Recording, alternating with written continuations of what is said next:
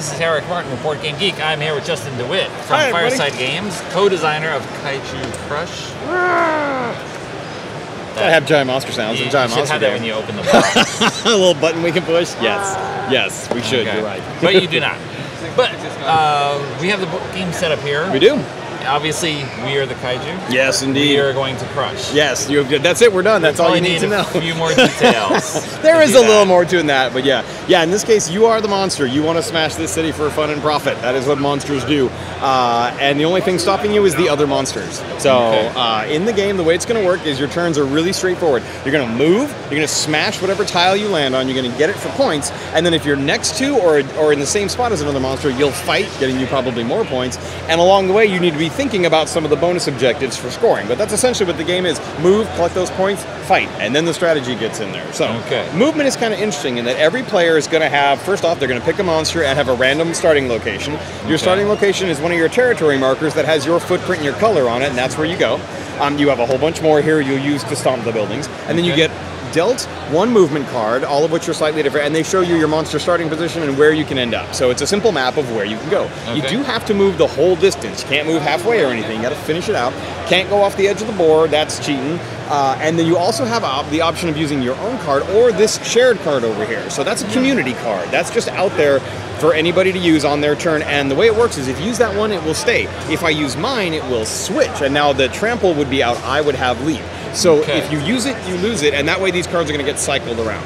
Okay. There's always one more movement card than there are players in the game. So in the reality, you and I would just be playing a two-player game. But let's have these Right. out anyway. Right. So, on your turn, you move, you smash, you possibly fight. So I'm looking at my options. I can leap all different places like a knight in chess, or I can trample somewhere. Well, I of course want to do both, and I want the points. The points are good. Um, so reality, I would probably play trample to go get this new nuclear power plant because it's five points. I lay down my smashy smash crater there. I keep my five point. You got it. I have to give that up. So now you can trample, and you being our yellow guy over here. Choices, choices, choices. Well, what if I dash up here Right? Now we're doing it. Okay, boom. So that is where combat comes in. Okay. So the way it works is anytime you're adjacent or same space, you can fight. Um, either way, you're always going to end up getting some victory, or I should say, the winner's going to get victory points. The difference is if you're on the same space and you fight, the winner also takes that area over. So you might be Right. able to, if you were fighting him, take his spot. Fighting works like this: you have territory markers on the back; they have these wacky symbols on them. Draw Okay. the top five from your deck and make a hand of cards out of it. And now you're going to look at these and you're going to decide what to play. And what we're doing is a sort of rock, paper, scissors with trump cards. Dear visitors, did you know the Codenames family is a brand new member? This time, it's a cooperative version for two players. What? Visit Czech Games Edition, Really? room number 232 on the second floor to buy and play the brand new Codenames Duet.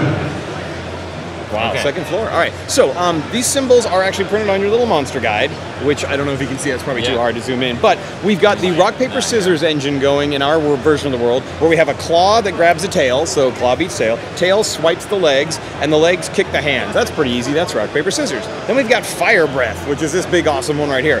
That beats all three of the basic rock paper scissors: the claw, tail, kick. It beats all of them. All three of those basic ones will beat spikes. Spikes seems like a useless card, but it's the only one that can beat fire breath. So these trump cards on top of regular rock paper scissors. So the way this works is I'll play for the blue player. We each look at these, decide what we want to play, and when we're ready, we're going to put them face down, and on three we flip it over. Oh, leg sweeps Oh, tail, so I win. So yours goes face down, mine stays face up. That way, I just kind of like on On a separate pile. yeah. At the end, we can count just who's got the most face up ones. All right, All right, for my next trick, Oh, I kick you because you had spines. Oh, I'm so good at this game. It's almost like I helped make it. Okay, fire breath beats yeah. hand, so I took him three for three. Woo! Um, best of three, or best, excuse me, best of five is how you win. If you had one two and I had one two, and like we had a draw, because if we both play the same symbol, it's generally um, uh, uh, a loss for both players. Your special ability breaks that rule, however. But anyway, if it had been a tie, the defender always wins. So if we had actually tied for a number of uh, wins, you would have uh, uh, tied. And the Okay. deal is, So I got beat up, yep, causing trouble. I don't know where my uh, victory points went. I lost. Right. I've You lost my victory, victory points. But yeah, the idea is there's these random victory points face down. I would take one and keep it. Um, we move along. What we're trying to do also though is keep an eye on these objectives. So this is one way to make points. Obviously, smash buildings, fight people. That's great. Okay. This comes down to um, at the end of the game. There's three different things we're going to look at for scoring. Concentrated has to do with where your territory markers are in relation to the board. It can either be concentrated, meaning you count your biggest group, anything that's not uh, broken by a diagonal. That would be a group. It can be the opposite of that, which is spread, meaning here's a group, there's a group. I would want them all over the board. You get bonus points for those. Everyone counts these too. These aren't exclusive. Every player is going to count either their biggest area or their group.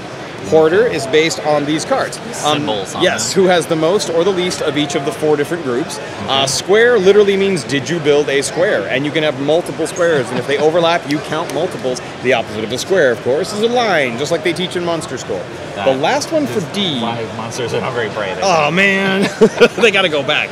So the D is a little bit different. D comes out in the middle of the game. What happens is the player who has the most of whatever suit that is is going to get that like an additional special ability. So I think you smashed the transportation, I so did. you would get movement mimic. This is an awesome one because what it means is on your turn you can use your card, the community card, or the player to your left, which happens to be me. You'll have access to all my movement cards, Okay. all the movement cards of the game, unless I get more movement cards. Then I take this ability, becomes mine.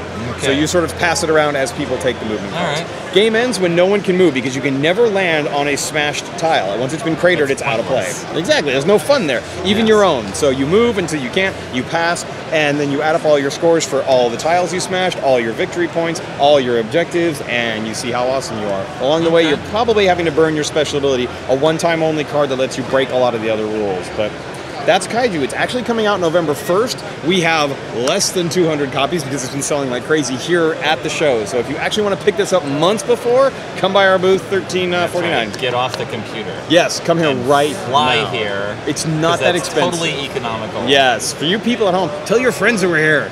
Um, yeah, so this one's out, uh, like I said, here technically now, but really November 1st. All right. Thanks for the overview.